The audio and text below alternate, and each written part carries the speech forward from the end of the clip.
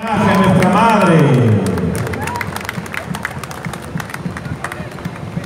También aquí están los empleados de la Caja de Prestaciones Sociales de Catamarca, Capresca, con la imagen que ellos tienen entronizada allí en sus oficinas.